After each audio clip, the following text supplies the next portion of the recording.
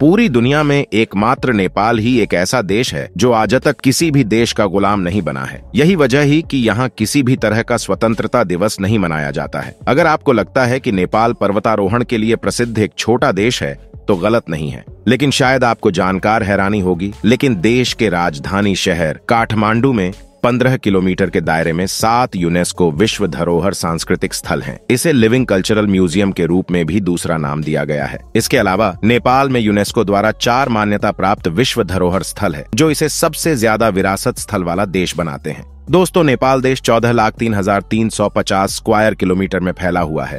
और क्षेत्रफल के मामले में यह दुनिया का तिरानवे व सबसे बड़ा देश है। दोस्तों, नेपाल दुनिया के कुछ चुनिंदा देशों में शामिल है, जो कि आज तक किसी का गुलाम नहीं बना। जी हाँ 1814 से लेकर 1816 तक इस देश के राजाओं की लड़ाई अंग्रेज़ों से हुई थी, लेकिन नेपाल गुलाम नहीं बना। दुनिया के सबसे खूबसूरत देश में से एक नेपाल की बात ही निराली। और अगर आपको नेपाल, हिंदुस्तान से जाना है तो वीज़ा लगवाने की भी ज़रूरत नहीं है। अब हम आपको नेपाल देश की वह तमाम जगह घुमा देते हैं, जो कि है वर्ल्ड पॉपुलर डेस्टिनेशन पशुपतिनाथ मंदिर। दोस्तों, नेपाल दर्शनीय स्थल में पहला प्रसिद्ध मंदिर पशुपतिनाथ मंदिर है। पशुपतिनाथ मंदिर नेपाल की राजधानी काठमांडू में स्थित है। और यह बात तो आप जानते ही होंगे कि पशुपतिनाथ भगवान शिव को ही कहा जाता है।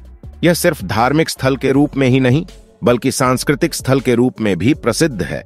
यह मंदिर भगवान शिव को अर्पित है। इस मंदिर में केवल हिंदू धर्म के लोग ही जा सकते हैं और अन्य धर्म के लोगों को इस मंदिर के दर्शन बाहर से ही करने पड़ते हैं। यह मंदिर बागमती नदी के किनारे बना हुआ है। इस मंदिर के आसपास काफ़ी सुंदर माहौल देखने को मिलता है और शिवरात्रि के दिन इस मंदिर में पर्व का आयोजन किया जाता है। पर्व के दौरान काफ़ी संख्या में भक्त इस मंदिर में आते हैं। यह मंदिर काठमांडू से मात्र तीन किलोमीटर की दूरी पर स्थित है। इस मंदिर में जाने का सबसे बेस्ट समय सुबह के दौरान सूर्योदय का है। जी हाँ दोस्तों, वैसे भी हमारे देश में कई ऐसे लोग हैं, जो कि साल में एक से दो बार भी इस मंदिर में जाकर भगवान शिव के दर्शन कर लेते हैं। कहा जाता है कि यहाँ आने के बाद आपके मन को बहुत शांति मिलती है और आपकी सोच बदल जाती है। आप इस दुनिया की सच्चाई को समझने लगते हैं। अगर आप नेपाल जाएँ तो इस मंदिर को ज़रूर विज़िट करें। अब दूसरी जगह है, मुक्तिनाथ मंदिर दोस्तों। मुक्तिनाथ मंदिर नेपाल दर्शनी स्थल का एक और देखने लायक स्थल है। मुक्तिनाथ घाटी में यह मंदिर स्थित है। यह मंदिर भगवान विष्णु को अर्पित है और इस मंदिर में शालिग्राम शिला या शालिग्राम पत्थर की पूजा की जाती है। हिंदू धर्म के अनुसार शालिग्राम शिला में भगवान विष्णु का निवास माना गया है और इसीलिए इस पत्थर को काफ़ी पवित्र माना जाता है। इस मंदिर को पंगुड़ा वास्तुकला से बनाया गया है। वहीं यह मंदिर हिमालय में 3700 मीटर से भी ज़्यादा ऊंचाई पर मौजूद है, जिसकी वजह से इस मंदिर के आसपास काफ़ी प्राकृतिक सुंदरता देखने को मिलती है। यहाँ के तीर्थ यात्रा करना थोड़ा मुश्किल है, क्योंकि इस क्षेत्र की यात्रा में हिमालय क्षेत्र की बड़ी पर्वत श्रृंखलाओं को पार करना होता है।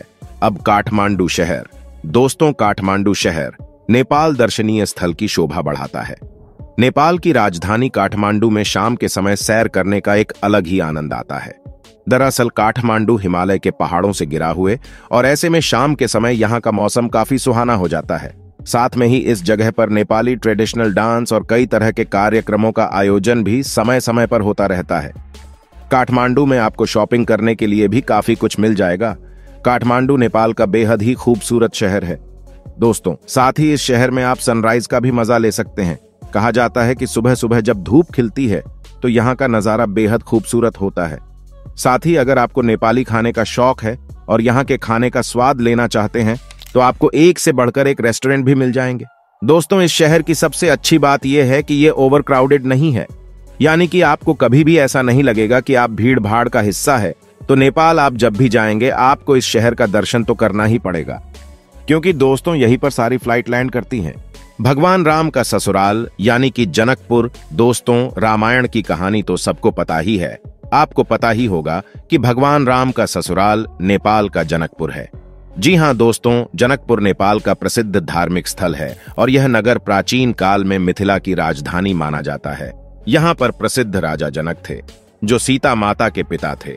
दोस्तों, आपको बता दें कि आज भी हमारे देश में मिथिला की जय। जयकार है बिहार के कुछ ज़िले जैसे कि दरभंगा और मधुबनी मिथिला का हिस्सा है। आप जनकपुर जाकर माँ सीता के महल के दर्शन कर सकते हैं। दोस्तों, जनकपुर में आज भी वह धनुष वैसे का वैसा ही रखा हुआ है, जिसे तोड़ने के बाद भगवान राम की शादी माता सीता से हुई थी। अगर आपको रामायण से प्यार है तो जनकपुर में आप रामायण के हिस्से को जी लेंगे, माता सीता के दर्शन आपको मिल जाएँगे। सागर माथा नेशनल पार्क, दोस्तों सागर माथा नेशनल पार्क भी नेपाल का एक बड़ा पर्यटन स्थल है, जो उद्यान नेपाल दर्शनीय स्थल में चार चाँद लगा देता है। सागर माथा नेशनल पार्क बेहद ही सुंदर जगह है और इस उद्यान से माउंट एवरेस्ट को भी देखा जा सकता है। जो लोग माउंट एवरेस्ट नहीं जा सकते हैं, वे लोग सागर माथा राष्ट्रीय उद्यान से माउंट एवरेस्ट को देख सकते हैं। इस पार्क में आपको कई तरह के पक्षी और जानवर देखने को मिल जाएँगे। इस पार्क को प्राकृतिक विश्व धरोहर स्थल का दर्जा भी प्राप्त है। वाकई में यह बहुत ही खूबसूरत जगह है और इस जगह पर जाकर आपको बहुत मज़ा आने वाला है। वैसे भी दोस्तों, जो भी नेपाल के दर्शन करने निकलते हैं, वह सागर माथा नेशनल पार्क तो आते ही आते हैं। आप भी ज़रूर जाइएगा। पोखरा, दोस्तों पोखरा, नेपाल दर्शनीय स्थल का एक और प्रसिद्ध दर्शन स्थल है। पोखरा शहर के पास ही फेवा झील स्थित है। और झील के चारों ओर काफ़ी सुंदर और शांत वातावरण है। जो भी लोग नेपाल घूमने के लिए जाते हैं, वह पोखरा ज़रूर जाते हैं। पोखरा नेपाल का दूसरा सबसे फ़ेमस शहर है, और इस जगह पर झील के अलावा कई सारे मंदिर भी हैं। साथ ही यहाँ की शाम बहुत ही खूबसूरत मानी जाती है। तभी कहा जाता है कि अगर आप नेपाल गए हैं तो एक शाम आप पोखरा के लिए भी रख लीजिए। जी हाँ यहाँ आपको नेपाल की ट्रेडिशनल लाइफस्टाइल देखने को मिल जाती है। यहाँ के होटल में रहने से लेकर यहाँ का खाना पीना सब नेपाली स्टाइल का है। यहाँ आप नेपाल को जी लेंगे। लुम्बिनी, दोस्तों, गौतम बुद्ध की जन्मस्थली। लुम्बिनी दुनिया भर के बौद्ध अनुयायियों का तीर्थ स्थल है।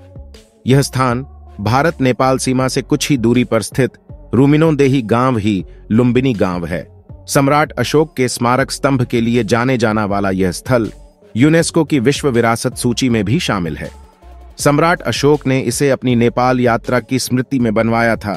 यहाँ का प्रमुख आकर्षण केंद्र आठ वर्ग किलोमीटर में फैला हुआ है।